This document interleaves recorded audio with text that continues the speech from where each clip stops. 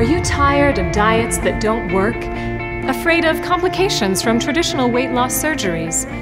Have you given up on your weight loss dreams?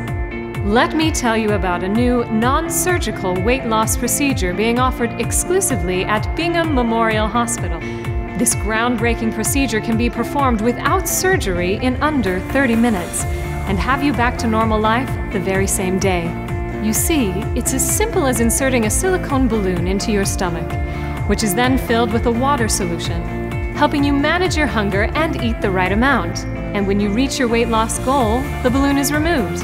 It really is that simple. Some patients have seen weight loss results of up to 50 pounds in a six month period. So don't wait for a new year to start working on a new you.